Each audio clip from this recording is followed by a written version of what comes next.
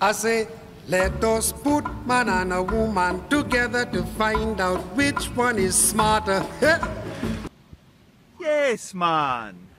I cannot begin to tell you how many people come up to me and they say, what do you do to fold up one of these here Tommy Bahama chairs?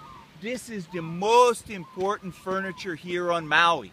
The most important thing is the beach chair. So let me give you a demonstration on what you do to fold it up. Very simple. You take it like this. You take it like this. And you put it back on the back leg like that. You grab it with one hand here. You take this hand, you put it here, and you close it like that, man. You see?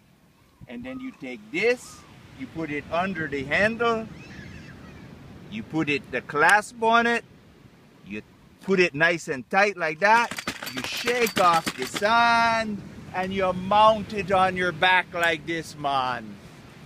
And you are one happy man.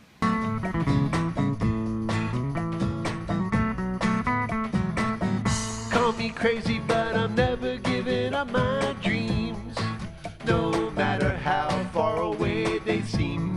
Crazy is the secret to my mad success. One.